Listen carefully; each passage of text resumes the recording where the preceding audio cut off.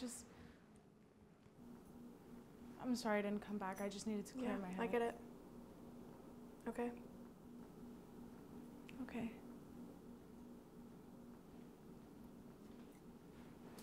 Did you get milk?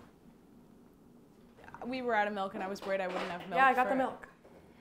Milk acquired.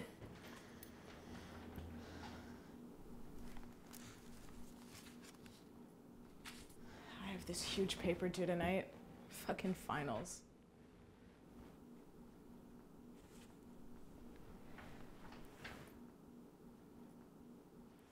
I, I totally saw the cutest dog today. Do you want to see it? I'm good.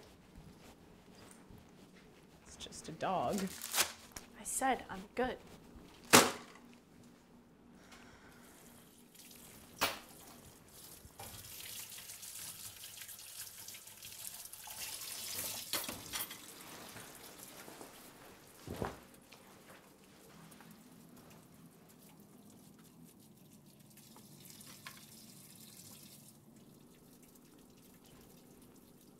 Want to talk about it? It? The fight, Margo. Come on. I don't know what there's to talk about. Seems pretty clear to me. Yeah.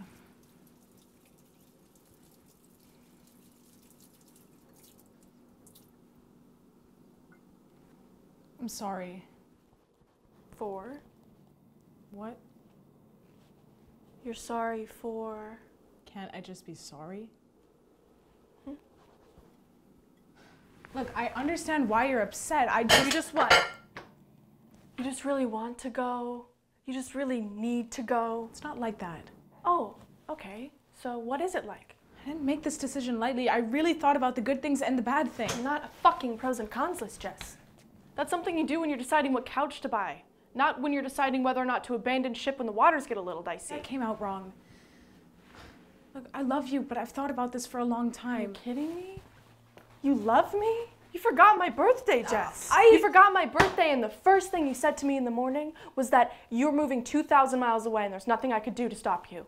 No, happy birthday or I love you. And you made up for it with the shitty card you bought from the fucking dollar store on your way home from work.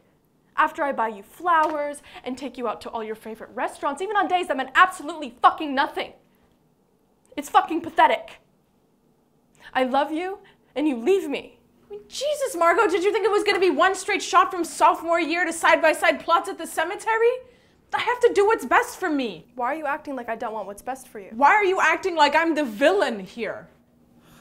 I'm not acting like anything. It's not like I'm dying, Margo. We'd still talk all the time. I'd call you every day and we could. People only say that when they want to sound like they have their shit together enough to maintain an already broken relationship over a fucking cell phone.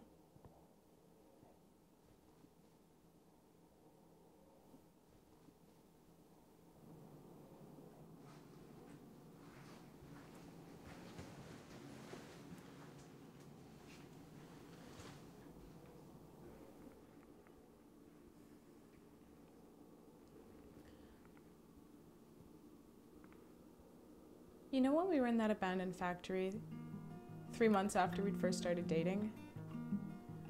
And you said you loved me? When I said I loved you? We just looked at each other and stared silently because we didn't want to ruin the moment. After all the butterflies had settled down and all the adrenaline had left my body, all I could think about was when it was going to end. All I could think about was that no matter how much I loved you, because I genuinely do love you, couldn't help but feel this timer slowly ticking down to the inevitable moment where I would no longer stare silently out of love. I- I would stare silently because all I felt when I looked at you was utter fucking regret.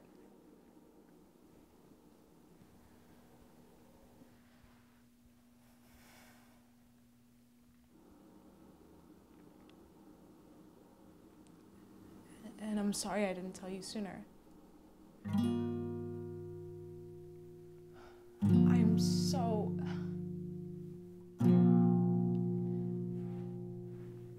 I'm just sorry.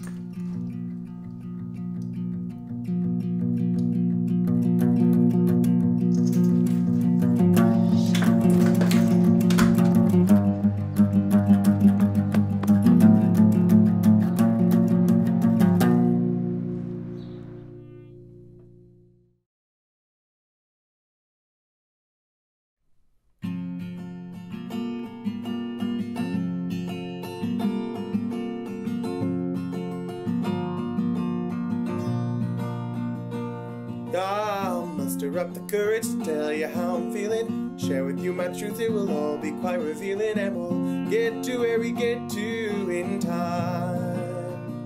You'll throw out the ring you never gave to me, you'll say it hurt your finger, but I know it's cause you love me more than I could give you, and you'll cuss me out in your songs ten times.